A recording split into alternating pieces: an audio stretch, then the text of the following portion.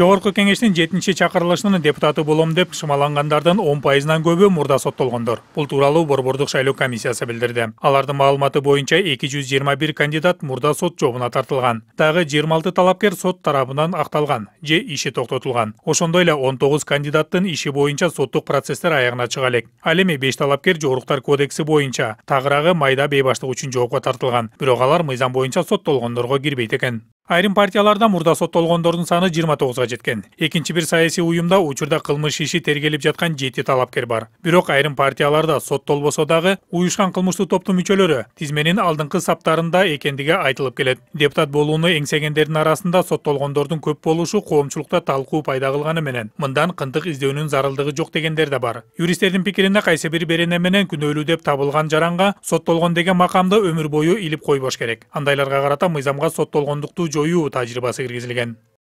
Жазык кодексинин токсон төртүнчү беренесине ылайык кылмыш жасаган адам жазаны өтөп бүткөндөн кийин соттолгондугун жоюу үчүн анча оор эмес кылмыш үчүн соттолгон учурда үч жыл оор кылмыш үчүн соттолгон учурда жети жыл өзгөчө оор кылмыш үчүн соттолгон учурда он беш жыл керектелет мындан сырткары соттолгон адам жазадан же аны өтөөдөн бошотулса же жазасы жеңилдетилип сыноо мөөнөтү аркылуу эркиндикке чыгарылса ал аяктаган күндөн тарта соттолгондугу жоюлат андан кийин башка жарандардай эле коомдук саясий активдүү жашай алат болочок эл өкүлдөрүнүн мыйзам алдындагы жоопкерчиликтери ачыктала баштагандан кийин айрымдар жогорку кеңешке кылмыш жоопкерчилигинен качып келе жатат деген пикирлер да айтыла баштады анткени иши кароодо турган талапкерлер шайлоодон жеңип мандат алууга чечсе анда депутат кесиптештеринин уруксаты жок сот жообуна тартылбайт кыргыз республикасынын жогорку кеңешинин депутатынын статусу жөнүндө кыргыз республикасынын мыйзамы жыйырма төртүнчү берене. Жогорку кеңештин депутатынын көз карандысыздыгынын кепилдиги. Жогорку кеңештин депутаты ал тарабынан өзгөчө оор кылмыш жасаган учурду кошпогондо жазык процесстик мыйзамдарда каралган негиздер боюнча кармалууга же камакка алынууга тинтилүүгө жекече текшерилүүгө алынышы мүмкүн эмес. Депутатты кылмыш жасап жоопкерчиликке тартууга ал тарабынан өзгөчө оор кылмыш жасаган учурларды кошпогондо жогорку кеңеш кеңештин макулдугу менен гана жол берилет ал эми талапкер болуп турган маалда аны бшк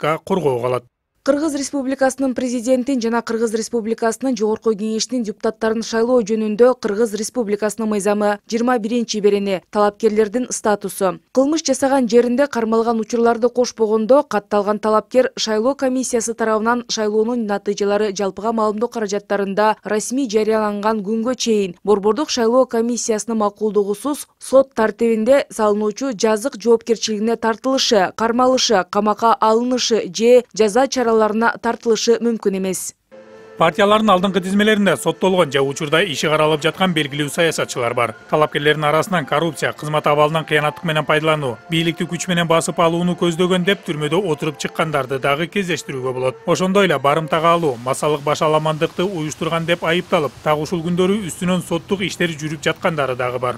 Эрмек аттокуров нурбек капаров нтс.